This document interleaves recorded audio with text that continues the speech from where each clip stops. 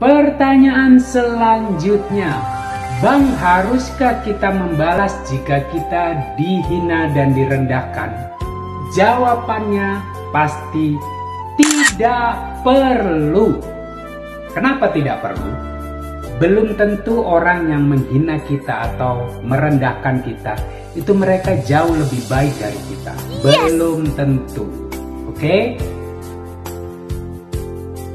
Dan yang paling penting perlu diingat, apa yang mereka lakukan dan apa yang mereka katakan pada kita, ada masanya semuanya itu akan menimpa pada diri mereka sendiri.